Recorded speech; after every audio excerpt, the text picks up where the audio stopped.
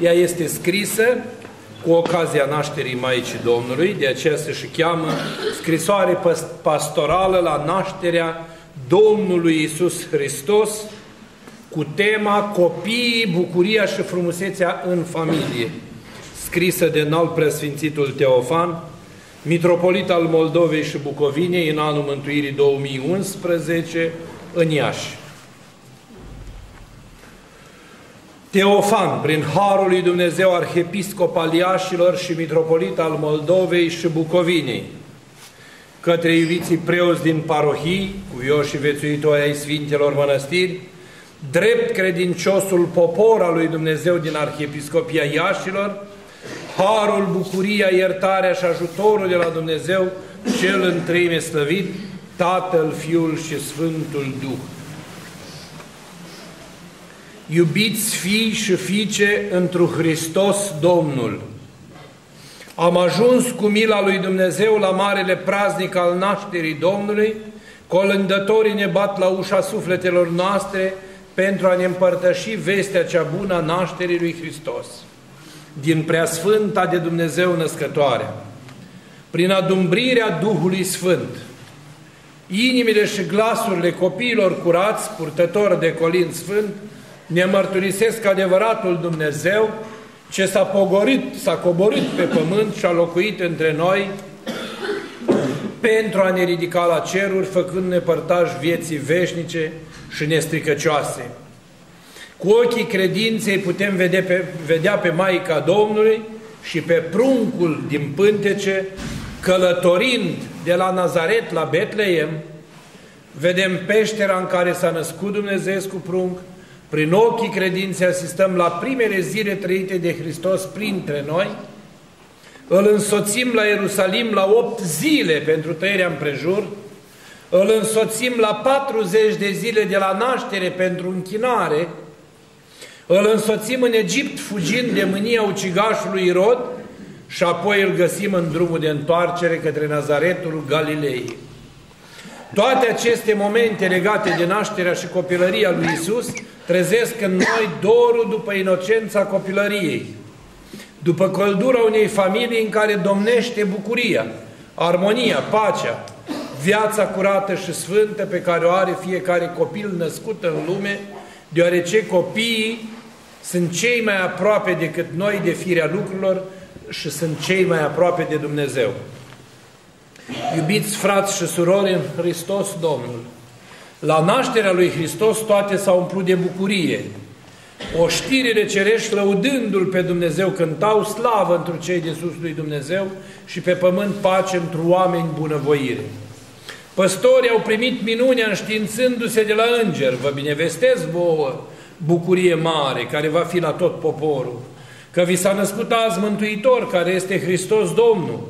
Văzându-L pe prunc s-au întors la turmele lor, slăvind și lăudând pe Dumnezeu pentru toate câte au zise și văzuse.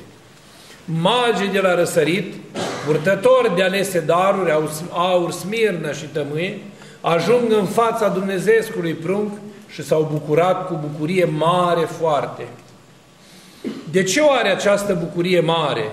Pentru că pruncul, cum zice profetul, s-a născut nou ca un fiu și s-a dat nouă, a căruia stăpânire e pe umărul lui, și să cheamă numele Lui Înger de mare sfat, sfetnic minunat, Dumnezeu tare, biruitor, Domn al păcii, Părinte al veacului ce va să fie.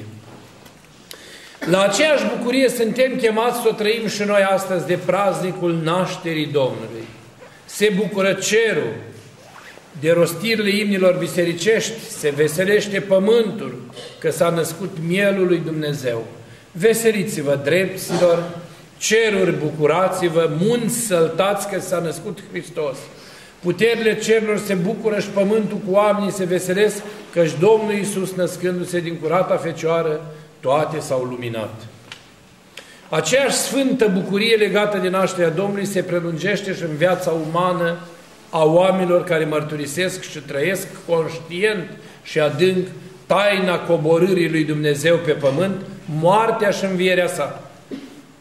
Împărtășindu-ne cu sfintele taine, adică cu Hristos cel născut în Betleem, mort și înviat din morți, omul se naște din nou și renaște la o viață nouă altoită în Dumnezeu, devenind făptură nouă. Pentru această renaștere în Duh, omul se bucură cu bucurie sfântă, bucurându-se și Hristos, cu preacurata sa Maică și îngerii și sfinții toți. Bucurie mare a fost așadar atunci când s-a născut după trup Fiul lui Dumnezeu. Bucurie mare este atunci când omul se întoarce la Dumnezeu și se naște duhovnicește.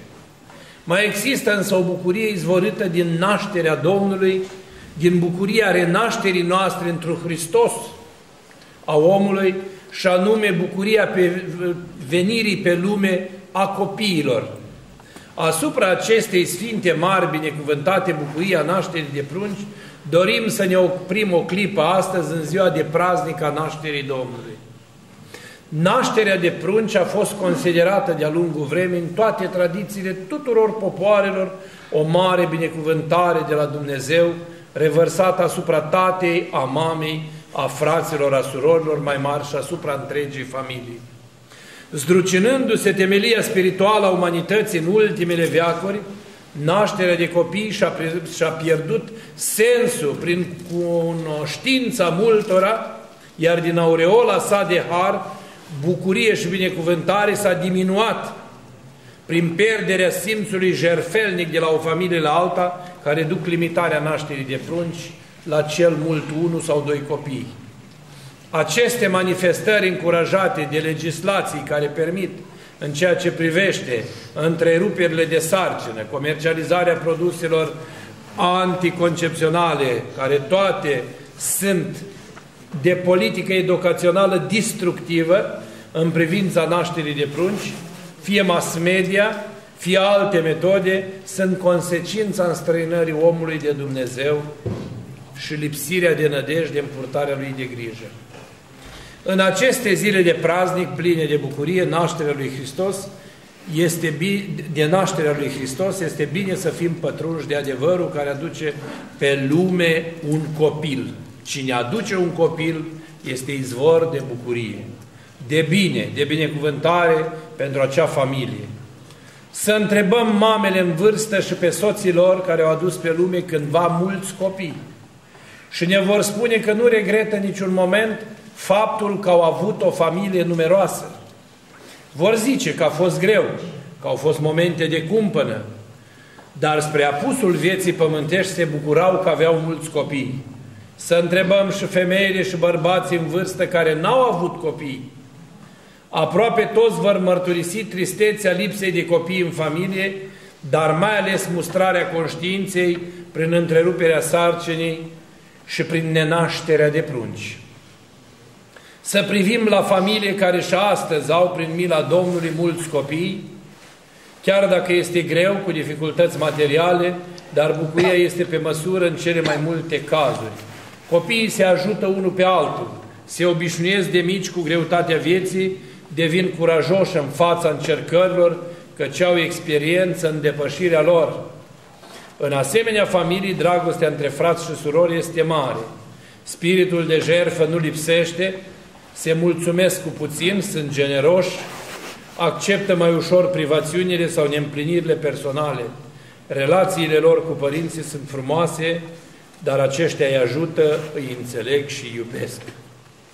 Cele spuse mai sus nu sunt imaginare, nu sunt invenții literare, ci sunt ceea ce poate vedea cineva că sunt izvorâte din constatări personale din viața familiilor, de preoți sau credincioși, care sunt numeroase, cu, cu copii mulți, familii ce împodobesc și astăzi unele parohii ortodoxe din țară și din străinătate, iar în aceste familii, în ciuda aparenților, bucuria este la ea acasă.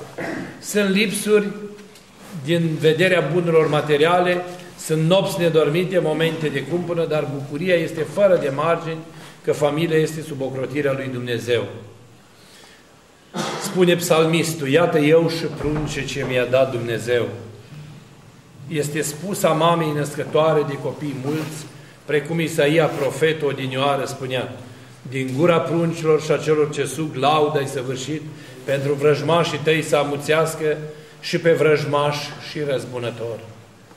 Pare să spună împreună cu împăratul David, tatăl ocrotitor al familiei cu mulți copii, tot el fericește văzându-se înconjurat de fii și fiice zicând, fericit este omul și casa de copii, nu se va rușina când va grăi cu vrăjmașul său în poartă.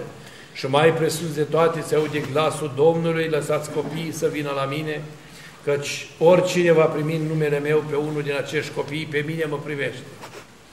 Și să de nu vă veți întoarce și nu veți fi precum prunci și nu veți intra în împărăția lui Dumnezeu.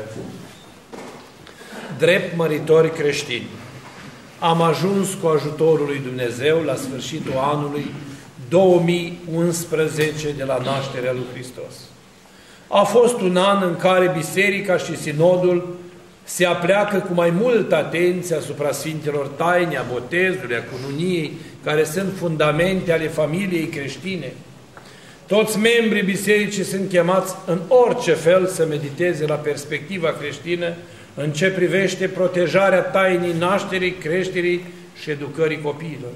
Nădăjduim că această preocupare a întregii biserici față de familie să aducă roadele așteptate, tinerii să aibă familii creștine ferindu-se de desfrânare, copiii să se nască ca rod al iubirii și nu al planificării, pruncii binecuvântați de Dumnezeu să fie crescuți în frică de Dumnezeu, în iubire de neam, în rușine de oameni, după cuvântul bătrânilor noștri înțelepți de altă dată. Anul nou, 2012, își va deschide curând ferestrele și vor fi zile și mai bune și mai puțin bune, căci viața omului este alternanță de cer senin și furtună. Dar în anul în care vine familiile creștine, vor fi mai numeroase dacă vor stărui în credința creștină, în iubire și sfințenie. Cum spune Sfântul Ioan Gură de Aur, dacă flagelul divorțului, desfrâurului, a omorului de prunci sau păcatele contra firii nu vor înceta, cel puțin și nu-și vor diminua din prăpădul lor destrugător, dacă mamele tinere nu vor naște copii cu care le-a binecuvântat Dumnezeu, dacă rugăciunea va fi stăruitoare, săvârșirea liturgiei va fi cât mai deasă și cu adânc de smerenie și stare de prezență, românul va înțelege că față de, fără de Dumnezeu nu poate realiza nimic frumos, adânc și adevărat. Atunci, anul nou 2012, dacă vom păzi poruncile, va fi un an bine plăcut Domnului, adică un răstimp de pace, nădejde, iertare între cei învrăjbiți, frățietate nezdruncinată, credință în Dumnezeu care este izvorul tot bine. În Duhul acestei așteptări mânghietoare, îl rog pe Dumnezeu să aibă pe fiecare în parte și toți la oaltă, în iubirea milostivirii sale, să ne ocrotească de rău și dușmănie, să ne ajute pentru a avea cele de trebuință ca hrană, casă, loc de muncă și cât mai multe familii cu copii credincioși, frumoși și sănătoși în mintea și în trupul lor. Amin.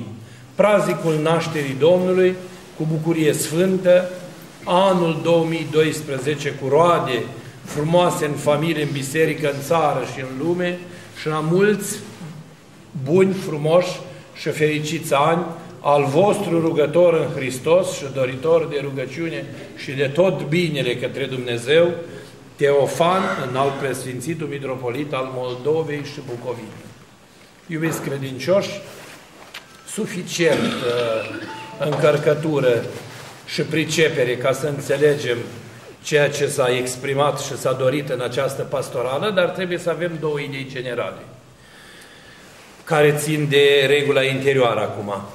Cei care sunt la împărtășit să-și ia frumos câte o lumânărică și încet să se strecoare în fața Sfântului Altar, fără să facă zgomot, să se închine frumos, să nu dea peste potir, să fie atent să nu miște potirul, să dea preotului peste mână, să facă o, o întâmplare nedorită. Apoi, pentru cei care vor să cunoască programul sărbătorilor și mâine și poi mâine la ora 8 va fi Sfânta și Dumnezească liturghie și cele de cuvință, dacă mai este vreun răvnitor sau vreun zelot care ține post în ziua de praznic împărătesc, poate să împărtășească și mâine, dar nu-i, cu nevo- nu-i nevoie, astăzi o puteți face. Iar pentru noaptea de anul nou, programul este același ca întotdeauna, și anume, la ora 10 va începe privegherea, o să vă anunță și Părintele Stareț, Va fi după priveghere moliftele Sfântului Vasile și vă rog să nu veniți duhnind a băutură sau a țigară, că n-are rost să o asculți. Că ai mâncat, mâncarea e pentru trup, prostia e pentru diavol. Ați venit frumos cu evlavie și cu credință. Cine vrea să stea după aceea în continuare la Sfânta Liturghie poate sta liniștit.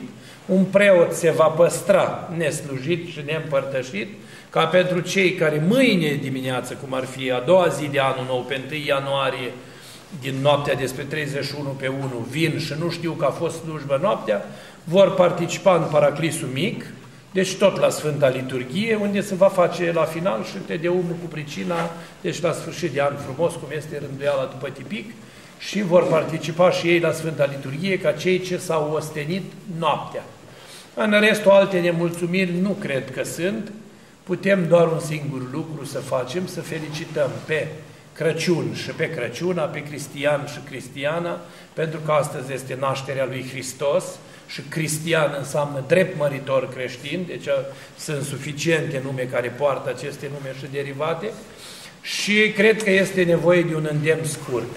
Nu știu ce-ți face dumneavoastră după spovedit și împărtășit, dar Părintele Cleopa avea o vorbă foarte frumoasă și populară. Bă, după ce trece postul, nu scăpa ca porcul în troacă, cu măsură și cu rânduială, să nu strici tot ce ai agonisit în 40 de zile. Masluri, spovedanii, împărtășanii. Este timp până la bobotează în harțul acesta să mănânci și două kg de carne de porc, și două kg de vin, și două kg de mușchi, două kg de brânză și patru kg de pâine și cinci kg de sarmale, în așa fel ca să rămâi același vrednic creștin despre care se spune că mănâncă și mulțumește lui Dumnezeu, când postește mulțumește lui Dumnezeu